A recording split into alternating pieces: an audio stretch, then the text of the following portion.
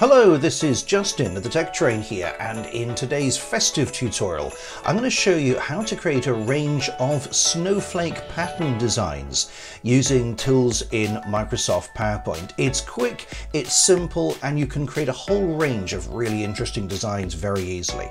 So let's get started.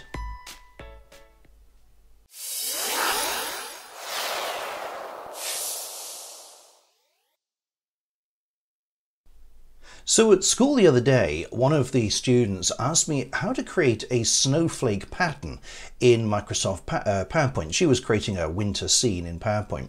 And uh, I thought about it and showed her the way that I would approach doing that. And she absolutely loved the idea and started uh, spending ages working on it. And I thought it would be worthwhile sharing it here in the tutorial. I'm going to be using two main keyboard shortcuts and they make everything very, very simple and straightforward.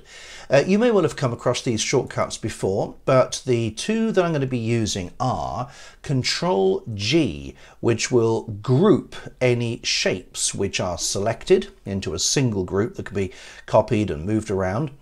And the other uh, keyboard shortcut is Control D, which duplicates or copies whatever shape or shapes are currently selected. And it's using those two um, that allow us to do um, this amazing pattern. So let's have a little look at how to do this. We have a, a new blank slide here, first of all. And I'm going to be inserting a line. So I'm going to go to Insert Shapes and use the Straight Line tool. And I'm going to create a line starting around uh, the middle and going straight up. Now you see that I've drawn this line, it's come out white. How come it's come out white when normally it'll come out thin and pale blue? Because I've changed the default style of the line. Uh, when you draw a line to begin with, it will probably be blue and it will be very much thinner than the one that I've got there.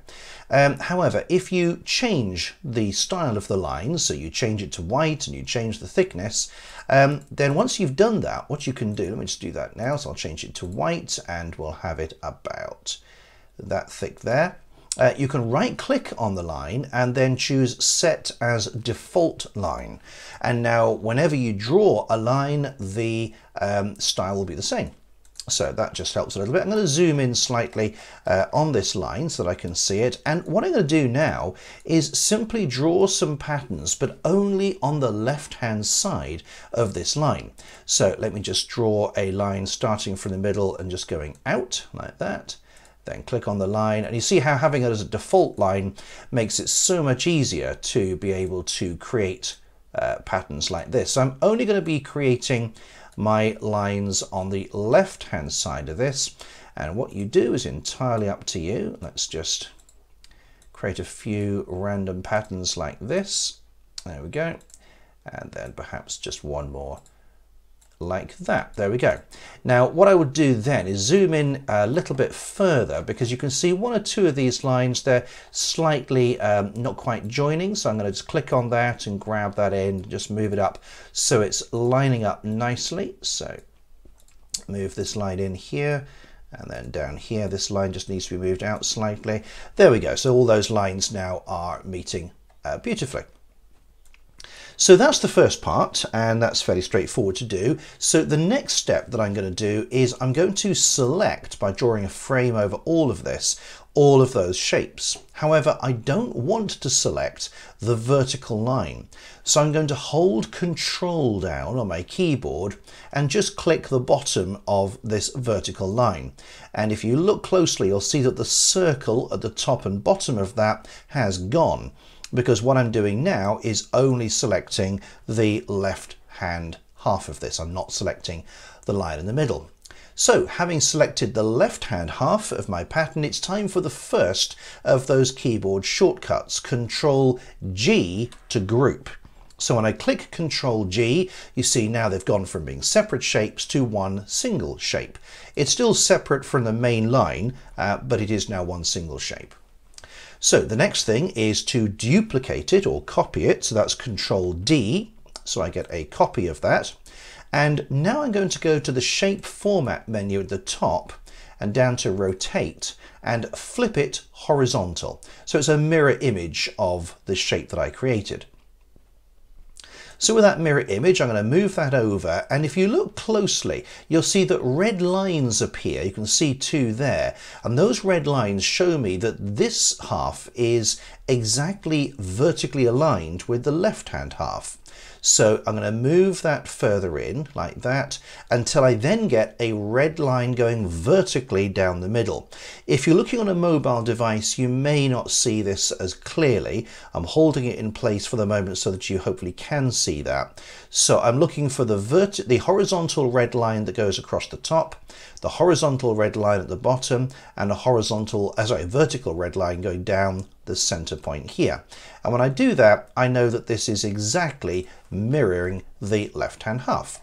So there is the first uh, leaf or branch, if you like, of the snowflake. Next, I'm going to group that. So again, click and drag a frame over all of it and Control G to group it. So I now have one object like that. Uh, now we need to duplicate it, so it's Control D to duplicate it. There we are, so there's my copy. And again, I'm going to go to Shape Format and Rotate, but this time I'm going to flip it vertically, like that. And of course, this comes down here like that. Um, and you see again the red lines, if I just move that in place. Hopefully you can see that the red lines are going vertically down the left and the right half of this. So that shows me that this is exactly vertically aligned with the one underneath. Just move that up slightly so that there's no gap in the middle. There we go, like that. And once again, I'm going to click a frame over all of this and Control G to group it. So I now have one copy of this uh, mirrored, mirrored snowflake pattern. All right then, the next step is to um, click this to select the whole of this group and Control D to duplicate it and then Control D again to duplicate it a second time. So I now have three copies of this. Now I'm going to click on this right hand copy here and again go to shape format rotate. And this time I'm going to click on the more rotation options. This opens up a panel on the right hand side and we can see a rotation option here. And I'm going to click in there and type 60 and press enter. So that rotates it 60 degrees. Next I'm going to click on the one on the left hand side and click in the rotation angle and choose 300 and press enter.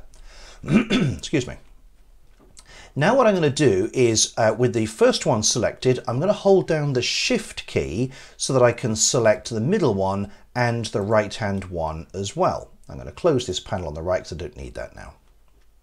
So with all three selected, I'm going to click on the uh, Shape Format menu at the top and then choose Align. And I'm going to choose Align Middle so they're all vertically aligned, and then Align Center so they're all aligned in the center. And what do you know? We have a snowflake. Now with the whole thing selected, I'm going to press Control G to group it. And there we are, we have a snowflake. Now you'll notice that in the um, previous pictures I had lots of little snowflakes in the background and that was created just simply using this effect. Um, and you can use this effect and you can uh, obviously resize this like this. Uh, what I actually did was I um, cut it so right click, oops, right click on the edge and cut or control X. And then when I right click and paste, I get two paste options. The first one is to paste it exactly as it was copied, so shapes. The second one is to paste it as a picture. And if I do that, it's no longer a set of individual lines, it's now a single picture.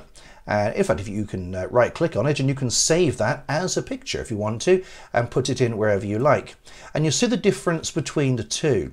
Uh, let me just uh, undo that again and just show you the difference here. If I take this and I, um, I'm going to copy it this time. So this is now the individual shapes. So I've undone back to where we've got individual lines. So with that group selected, I'm going to copy it, then right click and paste it as a picture and put this on the right hand side.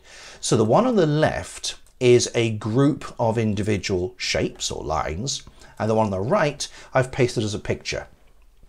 Let me select both of them and change their size and make them much, much smaller. And you'll see that as I do, the one on the left, which has all the shapes, it's keeping the line thickness. So of course it looks quite chunky. And if I get really small, it, it starts to lose all detail completely. However, the one on the right, the picture, scales perfectly. So as it gets smaller, the line thickness gets smaller, and so I can end up creating lots of those lovely small snowflakes that I did before. So I can make that smaller, um, and then I can do a little shortcut here. Hold the control key down and then just click and drag. And with the control key held down, I can click and drag and create loads of these little snowflakes. And then I can maybe make one a bit smaller and it still contains all that detail there. And then hold the control key down to create lots of little small snowflakes like this. Um, and there we are. And just using that simple method, you see I've created quite a range of different snowflakes here. The glow effect, by the way, um, that I did, um, that's just very simply um, using the shape effects tool there and going down to glow and that can create a, a sort of a, a cool uh, ice effect perhaps that can look quite nice as well. Um, so there we are, that's it really. So it's using a combination of the line tool and using the default line, setting the default line, um, using the Control G and the Control D shortcuts, um, as well as being able to use rotation and then converting the shapes into a picture. So quite a lot of little tools in there, but overall I think it's quite straightforward and quite simple. And uh, the effect looks really good. I mean, these uh, the, this background here looks quite detailed, quite magical, and yet, you know, it didn't take more than a few minutes to do. And the beauty, of course, is it's a little bit like when you had uh, the paper and you'd fold it up and cut it out. You never really quite knew what you were going to get. And with doing a variety of different shapes, um, the end result looks very, very different. You never quite know what you're going to end up getting. A little bit like real snowflakes, everyone is different. So there we are. I hope you enjoyed that. If you did, please take a moment to just give this video a thumbs up. If you have any comments or questions, do leave them below. If you manage to create a snowflake, it'd be fantastic to see your results and I can put those together perhaps and showcase those. So do send me them uh, if you manage to create a snowflake picture. Um, and uh, there we are then. Uh, don't forget to subscribe if you haven't already. That really does help support the channel and means that you'll know when the next video comes out. I do publish videos now every Tuesday and Thursday at 5 o'clock UK time. That's 11 o'clock in the morning Central Time. So if you subscribe and look out for those videos at that time, that would be awesome. And finally, this whole presentation that you see here with all these snowflakes, all of this is available free to download if you head over to my Patreon page, which is simply patreon.com forward slash the tech train. So I hope to see you there as well. Thank you very much indeed for watching. I'll see you in the next video. Bye for now.